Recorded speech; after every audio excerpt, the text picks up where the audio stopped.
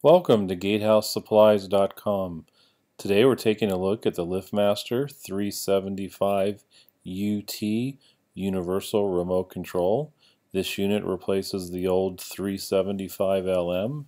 It can be used to replace several different makes and models of the remotes, so you just have to carry one remote. Let's take a look at it. It's got two buttons on it, so it can control two different devices. It's got a little access panel in the front. If you slide open the access panel, you can see inside that it has a program learn button and then it has a set of 12 dip switches. The numbers are very hard to read. They go from 1 to 12 from the bottom heading up toward the buttons. You have to hold it in just the right light to illuminate them so you can see it. So let's say we want to use this remote control to replace the linear. You're going to look inside, you're going to find the code switches inside the linear remote. You're going to then take the new remote control and set the code switches to the exact same sequence. There's only eight switches in the linear, so the extra switches on the LiftMaster remote you're going to turn off. So you turn off switches 9 through 12 in the remote control. Then look in the instructions in step number 4 to find the linear 8 position dip switch remote.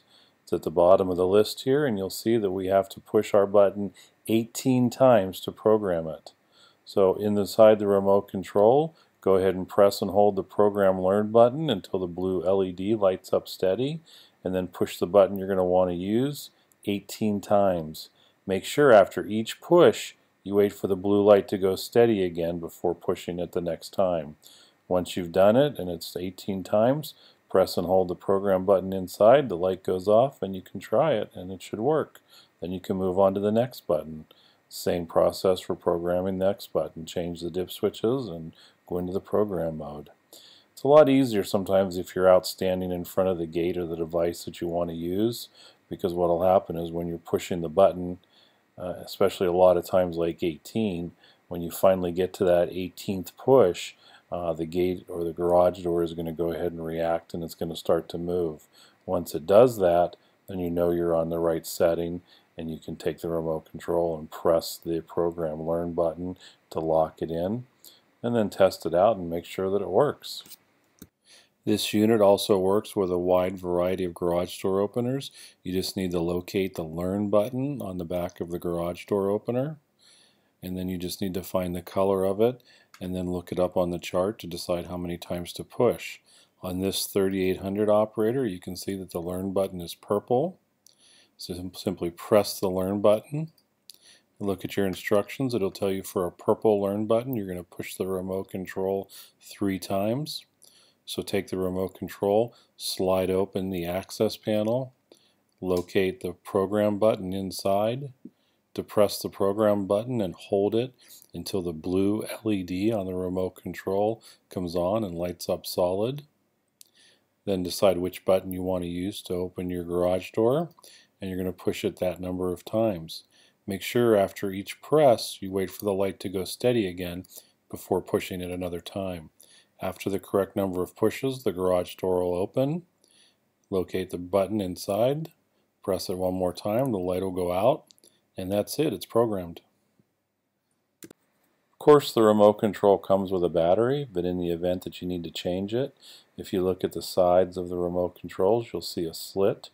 On the right side it's a little bit wider. If you take one of your wife's good butter knives or a screwdriver and you put it in the slot and you give a little twist, it'll pop the case right open. Once you get it open, just pull it apart and it'll reveal the battery inside you're going to want to get something non-metallic, uh, plastic or wood, and you're going to want to just push the battery out of that little compartment. You might want to work it from both sides, just giving uh, little gentle pushes on each side. You'll see the battery starts to slide out. Give it a last little push, pop it out of there, and that's it. The battery is available on our website. It's number 10A20 is the part number. Once you get it, just push it back inside the slot and push it in, make sure it's seated fully, and then line the case up and snap it back together. And that's all there is to changing the battery. That's about it. Thanks a lot for checking out the LiftMaster 375 UT universal transmitter. It works for many different makes and models of garage door and gate remote controls. If you take a look at the instructions that you can download from our website, you'll see it works for all the LiftMaster Chamberlain and Sears units made from 1993 to present. It works on the Genie and Telecode systems, Linear Dip Switch and Linear Megacode, and uh, Stanley and Multicode products. It's all in the instructions. Just take a look at that before you buy it and make sure it's compatible. And go to our website, gatehousesupplies.com, and just type in 375 UT in the search box in the upper right corner, and we'll be happy to get one right out to you. Thanks a lot for visiting gatehousesupplies.com.